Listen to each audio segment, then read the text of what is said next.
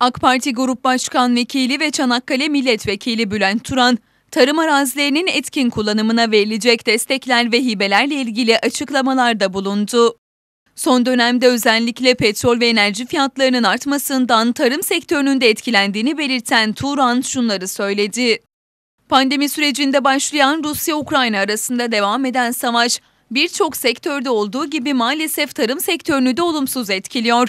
Boş bırakılan, atıl veya nadasa bırakılan arazileri üretime kazandıranlara, iklim değişikliğine dikkate alarak hububat, bakliyat ve yağlı tohum üretenlere %75'e varan hibe verilecek.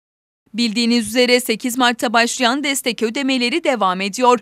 21.152 üreticiye 55 milyon 473 bin 422 TL mazot ve gübre desteğiyle 6905 üreticiye 24 milyon 505 bin 442 TL yem bitkileri desteği ödemesi, Türkiye Cumhuriyeti kimlik numarasının son rakamı 46 olanlar 11 Mart, 8 olanlar 18 Mart saat 18'den sonra hesaplara geçecektir dedi.